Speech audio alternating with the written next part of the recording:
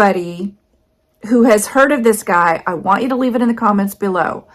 There is a, a man who is causing such a stir in Israel. And let's just face it, if somebody is causing this much of a stir in Israel, especially, we as Christians need to be looking at because this is a clue to how close we are. So you want to share this video with your friends and family. You want to let them know just how close we are. And this is a huge indicator. This man's name is Yanuka Rav Shlomo Yahuda.